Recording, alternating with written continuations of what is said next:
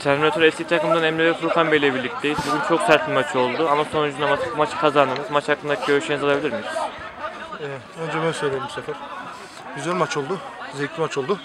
Ee, güzel e, yabancı bir kadroyla çıkmamıza rağmen yine güzel oynadık.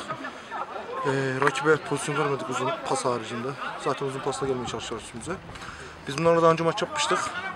Yenmişlerdi bizi. Rövanşını aldık. Fazlasıyla aldık. Arkadaşlarına ayağına sağlık. Yabancı, e, karşı takımda yabancı arkadaşlar yok. Daha önce gördüğümüz, konuştuğumuz, sohbet ettiğimiz arkadaşlar var. Onların da ayağına sağlık. Dediğim gibi biraz sert geçti. Ama yapacak bir şey yok. Bunu biz sertleştirmiyoruz. Rakip sertleştiriyor. Yani e, bir penaltı pozisyonu varmış. E, karşı takımın forveti penaltı olduğunu iddia ediyor sürekli. E, bu arkadaş daha önce penaltı almıştı. Bir önceki maçta penaltı almıştı bizim kalecinin üzerine basıp. Maç sonunda hocaya hocam size penaltı yedirdim demişti. Bugün de aynısını yaptı. Ama bu sefer hoca yemedi. Daha hala iddia ediyor. Dediğim gibi sertlik bunlardan kaynaklanıyor. Ama hepsinin ayağına sağlık. Hepsi güzel arkadaşlar. Güzel maç yaptık. Onların kadroları da biraz eksikmiş. Dediğim gibi tebrik ederim. Hepsine teşekkür ediyorum. Sözü Furkan'a bırakıyorum.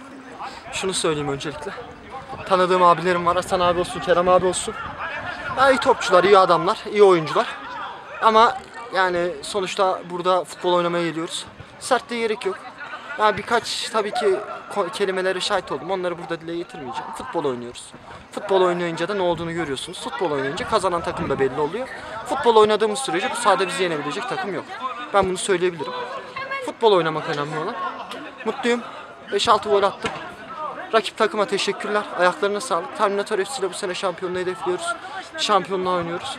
Teşekkür ediyoruz hepsine. Yüreklerine sağlık. Size de teşekkür ediyorum. Ayağınıza sağlık. İyi akşamlar.